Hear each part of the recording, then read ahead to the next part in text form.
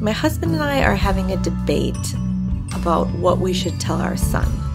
I mean, he can enjoy it now. He can find out later. We can just tell him later. I mean, he's going to find out, so we should do it now. We should tell him now so he's not disappointed as much. I think we have to be honest with him. I think we just have to say, I know you're excited and you think he's going to come for Christmas, but he's not going to, or she's not going to.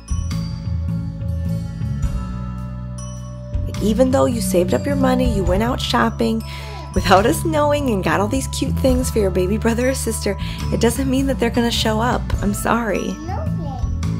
Either way, our baby is gonna be rocking those Christmas clothes in February.